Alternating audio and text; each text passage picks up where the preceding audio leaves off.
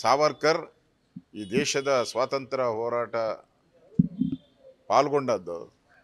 ಬ್ರಿಟಿಷರ ವಿರುದ್ಧ ಹೋರಾಟ ಮಾಡಿ ಅವ್ರಿಗೆ ಕರಿನ ನೆರಳು ಶಿಕ್ಷೆ ಆಗ್ತೈತೆ.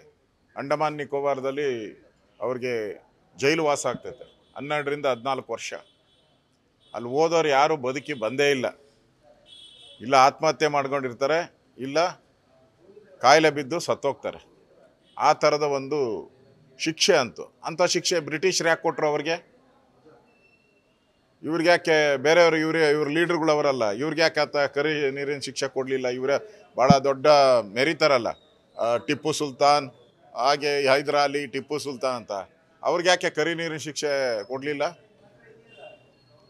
ಅಂಥ ಒಂದು ಕಠಿಣ ಶಿಕ್ಷೆಯನ್ನು ಅನುಭವಿಸಿ ಅಲ್ಲಿಂದ ಪಲಾಯನ ಮಾಡಿ ಓಡ್ ಬಂದು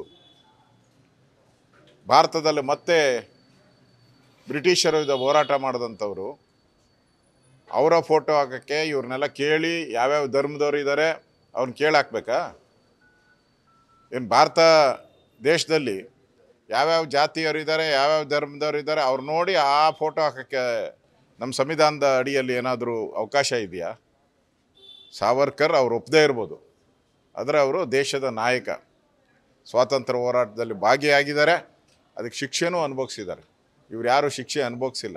ಇವ್ರು ಹೇಳೋವಂಥ ಲೀಡ್ರುಗಳು ಯಾರು ಶಿಕ್ಷೆ ಅನುಭವಿಸ್ತಿಲ್ಲ. ಅದರಿಂದ ಸಾವರ್ಕರ್ ಬಗ್ಗೆ ಮಾತಾಡೋ ನೈತಿಕ ಅಧಿಕಾರ ಇಲ್ಲ. ಮತ್ತು ಸಾವರ್ಕರ್ ಫೋಟೋನ ಎಲ್ಲಿ ಹಾಕಬೇಕು ಅಂತ ಸರ್ಕಾರಕ್ಕೆ ಅಥವಾ ಬಿ ಜೆ ಪಿಗೆ ಹೇಳೋವಂಥ ನೈತಿಕ ಅಧಿಕಾರ ಯಾವ ಕಾಂಗ್ರೆಸ್ ಅವ್ರಿಗೂ ಇಲ್ಲ. ವಿಸ್ತಾರ ನ್ಯೂಸ್. ನಿಖರ, ಜನಪರ